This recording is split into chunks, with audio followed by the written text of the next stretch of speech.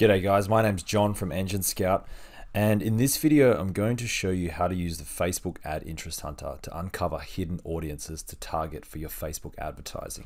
Now, if you've ever used Facebook ads before, you're going to be very familiar with the Facebook Ads Manager and you know that as you're looking or trying to find audiences, most of the time we're going to use this detailed targeting. Let's say that I am selling fishing lures, for example. I would type in fishing to see people who are interested in or might be interested in my products. And you can see that Facebook gives you a total of 25 interests, related interests to target.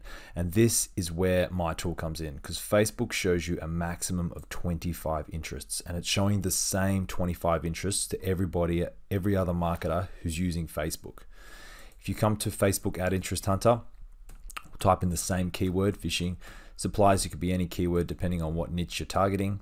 When I, when I type in fishing, you can see the search. It brings me up a total of 337 different interests related to fishing, okay?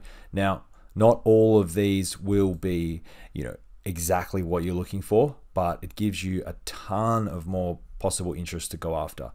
And what's even better is that no one's going after these interests, okay? Everyone's using the same 25 interests, going for the same crowded audiences. Okay, so you just need to do a little bit of digging here um, and, and, choose an audi- uh, uh, an interest that you like. Let's say real big fish.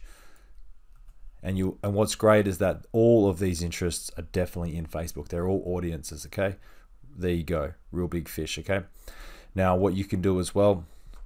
There's a small filter tool here. So if you want to filter out, let's just say I want to only find interests with the keyword fish you can search and you can see here it's filtered that out so it's only showing 305 out of a total of 337 interests. I can export this to, to save it as, a, as an Excel to, to use later.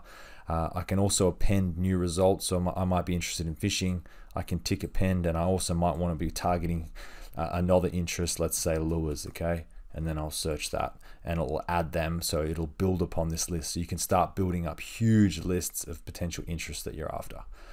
So I hope that was useful. This tool is free to use. Uh, please like or comment below if you have any questions or subscribe to this channel. I'll be coming out with a ton of more useful information. I hope this helps. Talk to you soon. Bye.